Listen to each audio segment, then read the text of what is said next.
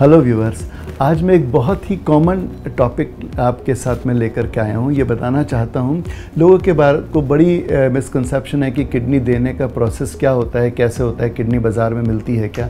तो मैं आपको बताऊँ, किडनी बाज़ार में नहीं मिलती है। किडनी ट्रांसप्लांट का दो ही तरीका होता है। या तो हम किसी ब्रेन डेड पेशेंट से किडनी लें, या आपके परिवार वाले किसी से किडनी ली जाए। इसके लिए आपको अस्पताल में अपने नेफ्रोलॉजिस्ट से मिलना पड़ता है। जो डोनर है, उसके सारे बेसिक टेस्ट होते हैं, जो रिसिपियंट है, उसके टेस्ट होते हैं। अगर डोनर को कोई प्रॉब्लम नहीं है, कोई मेडिकल इलनेस नहीं है तो उसकी किडनी ली जा सकती है। डोनर और रिसिपियंट दोनों का एचएलए मैच उनके कुछ ब्लड टेस्ट वगैरह होते हैं, वो सब देखे जाते हैं।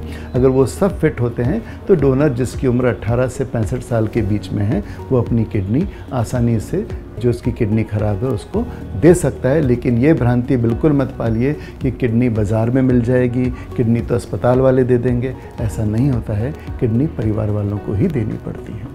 Thank you